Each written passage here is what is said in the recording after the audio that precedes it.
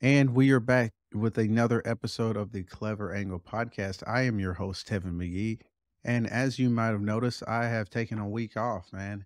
I just kind of really needed some time to reset. Uh, a few different things happened, but we are back with another episode of the podcast, and I appreciate you guys' patience while I've kind of did some reflection. So, uh, this episode I've been trying to drop for a good two or three years.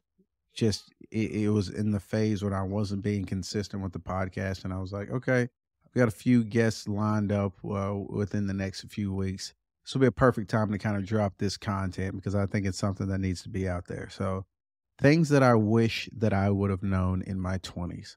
So, uh, for reference out there, I'm 33 now. So, this is just things that I have learned and I wish I knew sooner uh, in my 20s. So, number one on the list is patience. When you're in your 20s, patience is something that is almost impossible to find. Patience is something that was like the driving factor of why I started this podcast all throughout college, I didn't have any patience. I remember trying to accelerate the rate at which I graduated because I thought that if I if it took me longer than 4 years to complete my degree, then it was somehow less impressive. So I crammed a whole bunch of stuff in my last semester so I could graduate in in 2013 uh, with my bachelor's, and I remember feeling empty inside and not really knowing what I was going to do next what kind of sparked me to do the podcast in the first place. Um, to get a resource out there for people that might be struggling with this and taking that next step outside of uh, college because our lives are pretty much structured in a way that up until the end of college, you kind of know what your next thing is. So if I could go back, I would tell my younger self, just have patience. Things are going to work out do things that you enjoy. Really get to know yourself in your 20s and don't freak out if you're not on the same page or going at the same pace as somebody else. Um, number two is going to be fear of missing out or FOMO. So, this is something I think we all struggle with, whether that's the 20s or, or the 30s, but I didn't really start to become at peace with the fact of Tevin, you don't have to be involved in everything. You do not have to be involved in every party. You do not have to go to every event. You do not have to do you don't have to be so concerned with what everybody is doing all the time. We live in a world that is just constant highlights of everybody's life, everybody what everybody's doing. Just constant mini dopamine hits and you think that you should be involved. And I wasted a lot of money and a lot of time uh, chasing behind these temporary highs of not wanting to miss out. And um, there's so many times that I wish that I would have just stayed home instead of going out. Like I, I really didn't get much from the experience. So if I would have just focused on the things that really sparked joy with me, you know, um, I probably could have saved myself a lot of times. And and it's hard because even now at 33, you know, you get less time with your friends than you do in your 20s and you kind of take that for granted. So it can be hard to avoid, but this is a lesson that I I truly encourage you guys to just take a second, take some time and just think, is this something that I'm truly going to regret or or is it just something that's going to be fleeting and and you know 10 minutes from now you're not really going to miss that experience? Uh, number three is going to be learning about money and the dangers of debt. So if anybody is in student uh, is was a student in college the majority of us had some kind of student loan debt so you know you come out from 18 and you know i just went through puberty you know five six years ago so i'm still just kind of figuring out what I'm going to do, what I'm going to major in, all these things. You know, you're focusing on these fun things of college. Like you've been sold this dream of, yeah, you go, you get the college experience, you're going to meet some of your best friends, which that is absolutely true. But something I wish that the school system would absolutely spend more time or start to develop a curriculum on is money and what debt means to your longevity of your life. So, you know, if you got to go to school to get the degree and there's no way around getting it, um, 100% you got to go to college. Like if you want to be a doctor, you got to go to college, 100%. Uh, but I would encourage you, especially if you're in your 20s or if if especially if you're in your 20s or if you're uh, a little bit sooner than that, like high school, junior high, start thinking about creative ways that you can pay for college. Your grades matter in high school if you want to go to college. They matter. So if you're thinking about pursuing a degree that you might not necessarily need a degree for, look into some alternative uh, alternative options uh, before you decide to plunge into debt because I think it's become normal to to carry a student loan balance. It's been normal to get credit cards. It's been normal to do all of these things, but the ramifications, the lessons that that you didn't learn, are going to slap you in the face very hard if you don't learn these financial lessons. So I encourage all of you parents out there, all of you people that are are um, just now going into your college journey or just now getting living out on your own, and you are thinking about getting a credit card and you're thinking about uh, going to school. Before you take on any of that of that debt, do some research, do some education uh, in the subject matter. I remember when I was a freshman at A State, there was like this kind of like carnival type setup where there was a whole bunch of different booths uh, on campus, and they were just uh, telling you different things. And you know, there was a booth that had pizza, so you're a broke college kid, so you want to get the pizza, and you go over there, and they say, "Hey, here's some free pizza. Do you want to sign up for a credit card or do this?" And a lot of kids were just blindly signing up for these cards that are probably 30, 35% interest. And they really just prey on you not knowing these kinds of things and hoping that you just sign up for it, spend money that you don't have, and they can get you on the back end for interest. So learn about money. That's that's a that's a that is a thing that is going to of all the things on this list, learning about money is going to help you out the most in the long term. Because once you do decide to have a family, once you decide to buy a house, once you decide that you are ready to get a car, knowing about money, knowing about savings and emergency funds and debts and all of these things that are going to affect your adult life, you know, when you're in your 20s, you think that you're invincible. You think that nothing is going to come back to bite you. You think that you've got time. And I promise you, the illusion of time is something that we do not realize. Time is our most valuable resource. And if we just thought about that earlier, we could live a much more fulfilled life. So learn about money, learn about debt, especially if you are young. But I think this is something that everyone should know. So I'm reading I Will Teach You to Be Rich um, right now, it's a great financial resource that I'm finding a lot of value in. The Psychology of Money is also a good book. So if you're interested in any of these resources, I'll leave the subscription down to a few of the financial books that kind of change my perspective and the way that I think about it. Because mindset is a huge part of getting your finances in order. Okay, number four, which is probably just as important as the money thing, is prioritize your health. Just because you're 20, just because you're 18, just because you're 30 does not mean your health is a guarantee. We need to realize that we are we only get one body to take care of us for the rest of our lives. So the things that you're doing, it's not worth it. It's not worth it to mess your liver up in in your 20s. It's not worth it to get addicted to nicotine in your 20s. There are so many people that I went to college with. There's so many people that are younger than me that I'm seeing at a rapid rate just in my own life have health health conditions that they would have never thought about. You don't have to do something crazy. This isn't something that I'm telling you not to have fun or not to uh, enjoy sweets, but we have to realize the things that we are putting into our bodies. We have to realize the decisions that we are making um, are, are going to affect us for the next 50 to 60 years. So find you something that works for you moving your body, getting out into that into that sunlight. Take your dog for a an extra walk.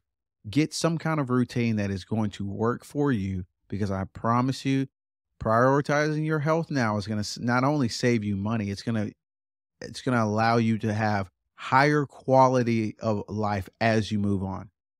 it's not the fact that you're getting older is why you can't do the things that you did in high school. It's because you decide to put your body on the back burner. And by the time you're 30, 31 years old, um, you have put so many miles on your body in a negative way that you don't even realize that it, it, it can be corrected, but you don't even realize the damage that has been done to your body until you have to go to the doctor and oh yeah you your ligaments in your knee or whatever it is. You know you just it's slowly over time you start to see these um regressions in the things that you're able to do but they can be corrected. So i'm telling you the sooner the better prioritize some kind of routine. I, I mean i'm not any kind of expert but i do have a degree in exercise science and i'm thinking two to three times a week minimum of getting in the gym or some sort of exercise. And here's the thing just find something that you like to do. It doesn't have to be lifting weights. You know, I like playing tennis. Tennis is something that I do that helps me stay active, and taking my dogs for a walk is something that's low impact that you can do um, that will help your overall longevity of health. And obviously, your diet is a huge part of that. So, everything in moderation, man everything in moderation. You can't eat the same things that you were eating when you were 15, when you're 33. Trust me, it sneaks up on you. It sneaks up on you fast. Um, number five is going to be your relationship status does not define you. So, back to the whole social media thing, there is so much comparison in our everyday lives that we think that just because somebody else is getting married, that that I need to be getting married and they rush into things. So I think that if we just take the time to do a self evaluation on what do you want in your life and does this fit with another person right now? If the answer is yes, and you think that you're in a situation that where you are up for dating and finding that person, because that is one of the most rewarding things is finding your person and building a life with that person. But you don't think you don't need to think that you're a failure if you're not 24 and married, if you're not 31 and married. You need to be working on yourself in your 20s and getting yourself to where you're attracting the type of person that you would want to be um, in a relationship with and want to build a life with. So I think that the um, the age in your in your 20s is just such a um, self discovery age that we just need to take the time, be with ourselves, increased increase our skill set and and the things that we got going on, you know, focus on these first four things. Focus on your career, focus on saving money, focus on uh, getting yourself out of debt. So now you start to attract that good energy of a person that you will want to be in. But comparison is the thief of all joy. And I'm telling you, as long as you're not comparing yourself to other people, and you were happy with the progress in your life, you are going to live a a um, highly fulfilled life, and you are going to look back and and think that it was at the pace that it needed to be. God doesn't make mistakes. Number six has been truly transformative for me, and that is going to be seeking mentors. Nobody gets through this life alone. Nobody. So, seeking out the guidance of people that are doing the things that you want to do, someone that's like a big brother figure to you that can give you wisdom and guidance and that can help you get out of some of these pitfalls that we're talking about. You know, how different would your life be if when you're 17 you're getting ready to sign up for student loans, you had a mentor of some sort, like whether that's a coach, uh, your your uncle, your dad, whoever it is, somebody that has been around the block, somebody that has experienced some of the things that you've gone through and can help you from making the mistakes that they made. That can set your life on a complete different trajectory than you are normally headed on just by surrounding yourself with people that are going to make a positive impact impact on you. I've got several in my 30s now and I wish I would have known these people in my 20s because it would have helped me save a lot of time. Um, I've got to shout out my buddy Chikukure AK. I would consider him one of my best friends, one of my mentors, my brother as well. Uh, my my good friend Grant Long. These are all men that I can reach out to at any given point, ask for advice on things, know that they've been some through some of the same things that I've been through. They're they're going through some of the same th- struggles currently, and I value the, their opinion. They they each have qualities and characteristics and things that I would want to be better at in my own life, and surrounding myself with like a mastermind group of friends is a game changer for you in so many different areas of your life, whether that's your physical health, whether that's your spiritual health, whether that's your financial health, whether that's you know you're you're talking through getting a, a, career and and and jobs and things like that whether it's a cre- creative outlet that you need advice on. Mentors will change your life. Justin moody as well my uh my former boss when i was in the warehouse. All of these are caleb shipley.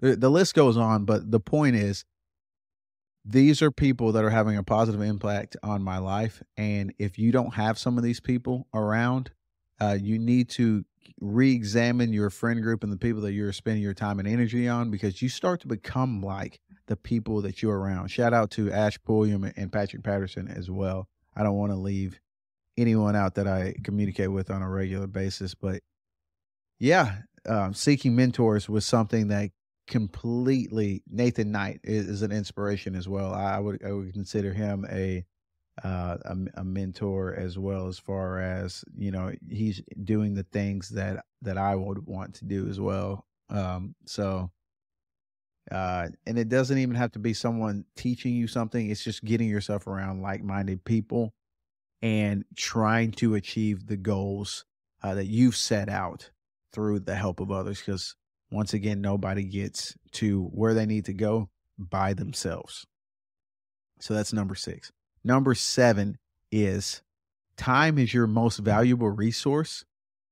And while you are young, don't think that you have all the time in the world. It's something that you can't buy more of. So spend it wisely.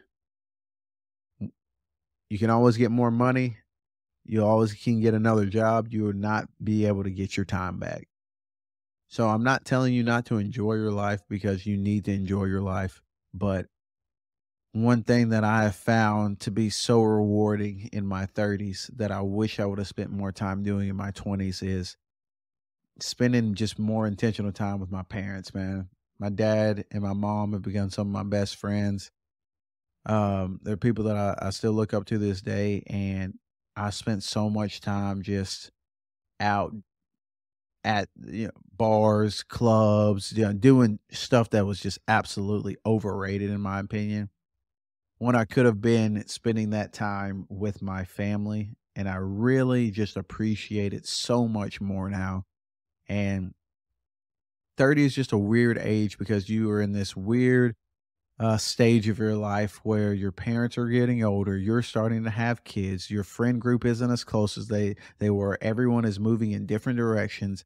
I'm one of the only um, people in my local friend group uh, that has kids. So my brother's is, just got engaged.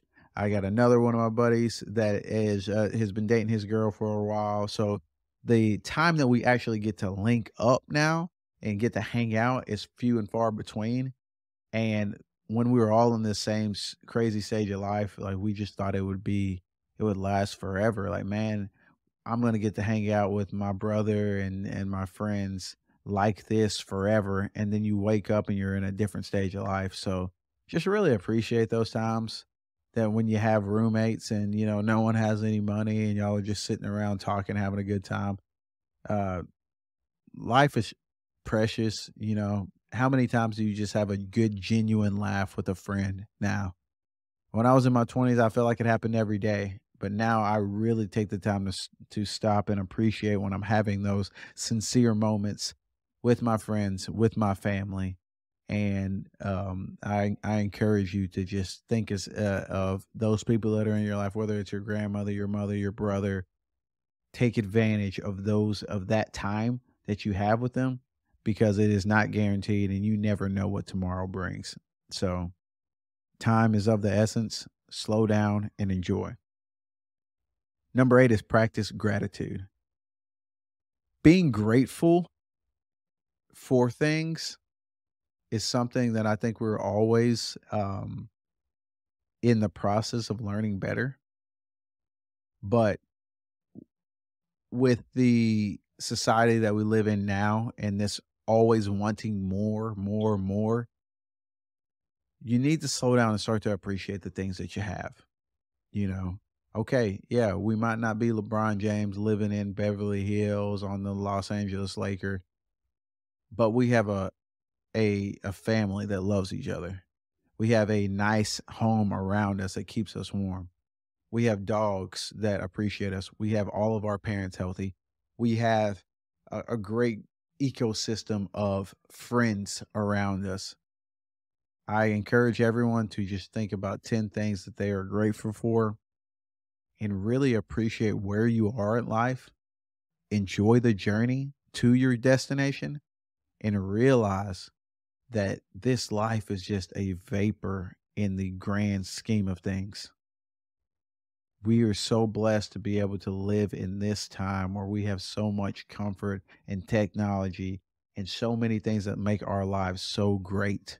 We live in the United States, which is one of the greatest countries, and we can we have the freedom to be able to pursue anything that we want to do. So practice gratitude, and I promise you will have a happier life. It's something that I'm constantly working on. And when I'm getting to these moods where I'm down on myself, I, I like to make a list of things that I'm grateful for. I'm grateful for my kids. I'm grateful for being able to talk on a platform, even if no one is listening to me. I'm grateful to, for the opportunity to get to have a, a, a space where I can get my thoughts out to people and even if this just reaches one person, I'm grateful for that. I'm grateful for the connections that I've made in college. I'm grateful for my job. I'm grateful for my beautiful wife that works so hard for our family. And I'm grateful for two beautiful, amazing, wonderful daughters. I'm grateful to have my brother and and friends that that accept me for me.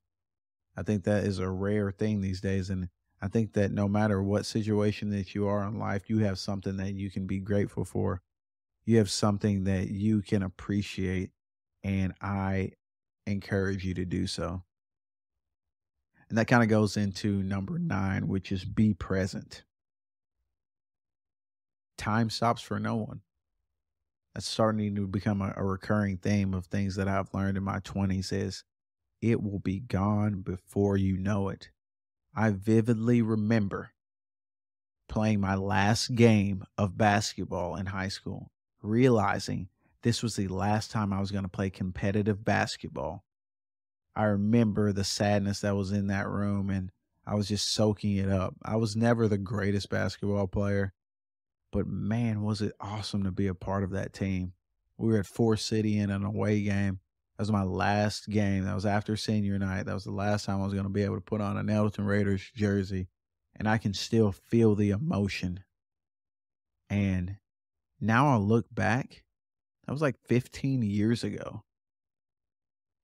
And I can still remember everything that was happening. I remember shaking my coach's hands and them telling me that it was a pleasure, you know, getting to coach me and and like I said, I wasn't good, but I, I appreciated just being on the team around the guys. And if this is you and you're in junior high and you're upset about your playing time and you, you know, you, you let these petty things get, and not just basketball, just things in general.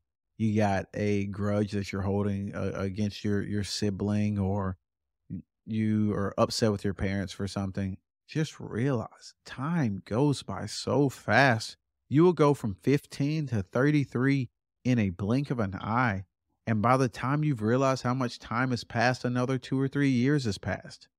And you just have to just take the time to slow down, be present, hug your mom, go see your grandma, go to that funeral.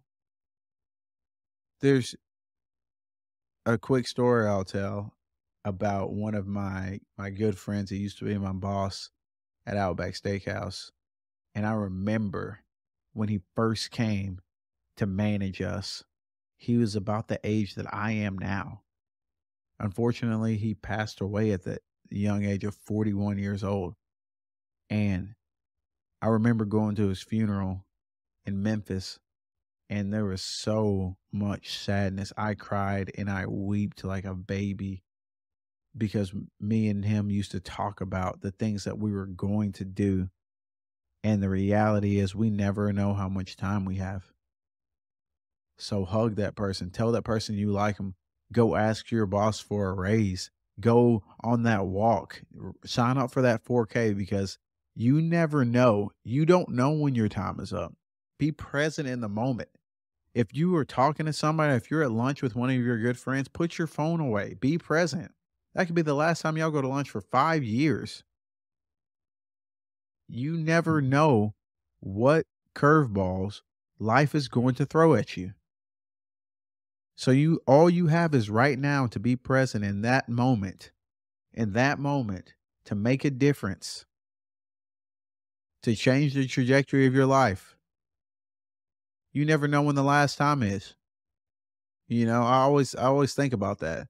And I, I don't know why I always use pickup basketball as like a as a example. But I'm a guy that plays a lot of pickup basketball. Still really enjoy the sport. And I think to myself, you know, think about the last time I, you played pickup basketball. When you were walking out of the gym and you were putting your shoes in your car and you were driving off, did you think that that was going to be the last time you played pickup basketball? It could have been. Or did you think when you were driving away from the gym, I'm not going to do this for another five years? The the chances are probably not, but life gets in the way. So just be present because it could be over just like that. You could you could leave the gym and never get to play basketball again in your life. You could leave school and that could be the last time you saw somebody that you went to college with. You could leave that job and you can never talk to somebody that you spent the last 5 years with. Be present. Make the most out of the day that you have, which is right now. Number 10 is the journey is more important than the destination. Some things take a lifetime to learn, so fall in love with the journey instead of wishing you were at your destination. This goes back to me in college. Man, I was so just focused on being a college graduate. I was rushing through the days, I was rushing through the classes, I was rushing through an experience in my life that I needed to just be enjoying the the the journey, enjoying the time and the effort, enjoying the relationships. How many times do you see somebody on social media and say, man, I haven't seen that person since college. I haven't reached out to that person since college. I wonder how they're doing. Enjoy the journey. It's all that we have. The only two things that are guaranteed in this life, if you're in it, is that you will be born and you will die. Everything in between that is the journey. The human experience is something that doesn't need to be rushed. Enjoy it. If we're lucky, we will be old one day. And you'll be talking about and reminiscing on the times when you were able bodied and you were able to do things. You won't always be in your prime. There's going to be different seasons of your life that you'll enter in and it's going to be filled with happiness and sadness and everything in between. So don't rush it. Enjoy it. Take your time. Hug your loved ones. Enjoy the journey. Number 11 is going to be progress over perfection. I think that we all think that we have to be perfect all the time. I know I do. I struggle with this, especially with putting my content out into the world. I think, man, I'm not going to post an episode this week because people are going to find it dumb. No one's going to resonate with it. Why do I think that I could be a podcaster full time?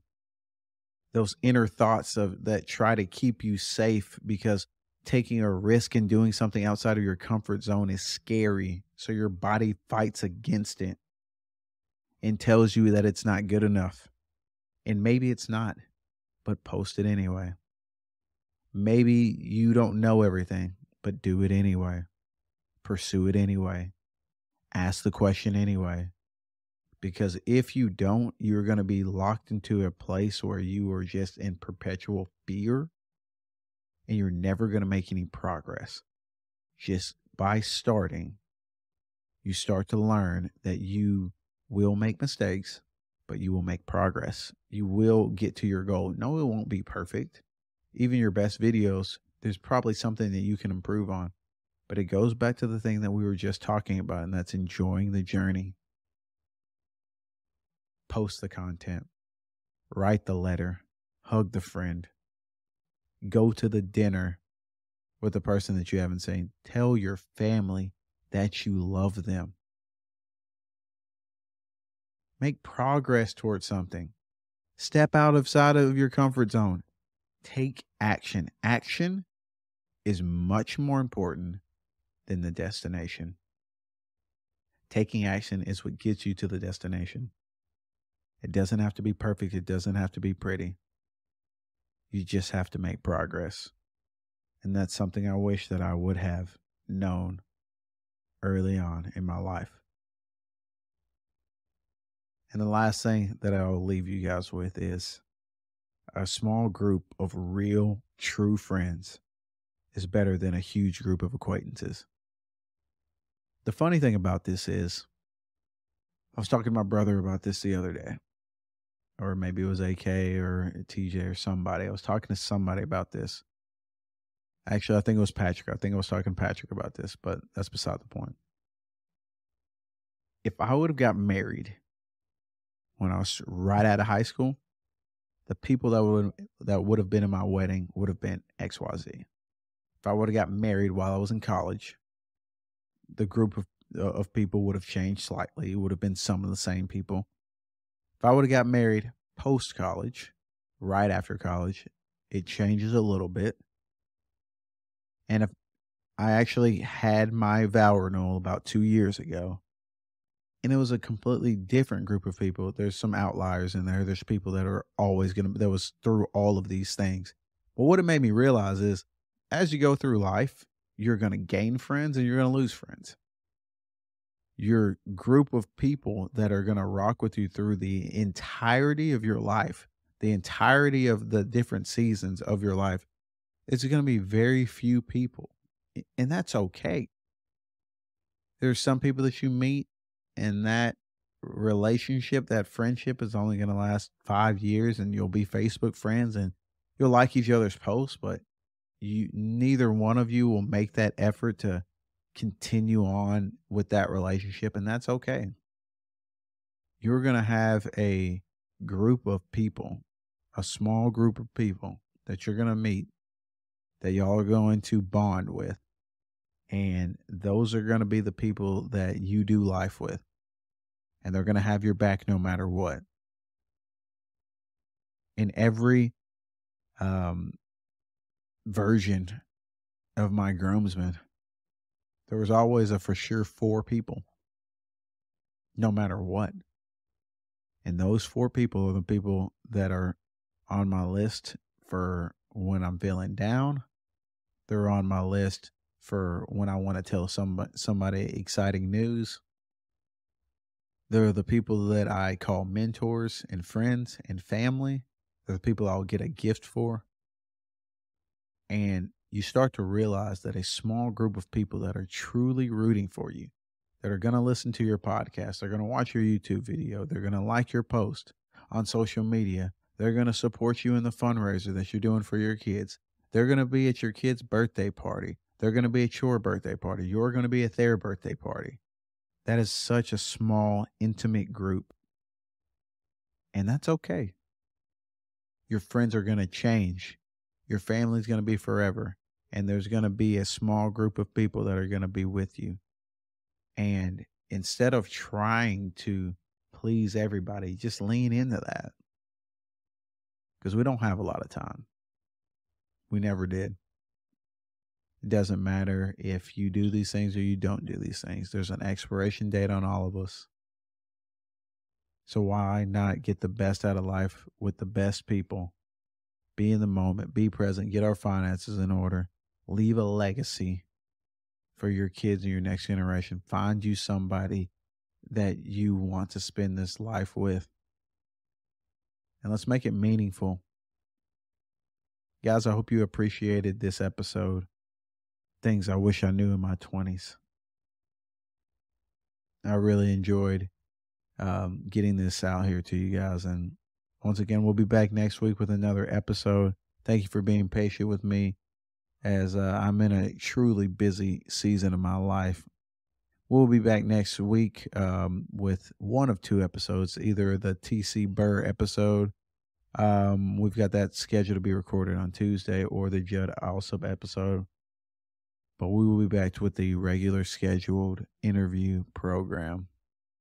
And I appreciate you guys rocking with me. Um, if you would be inclined, like us on Instagram, follow us on YouTube.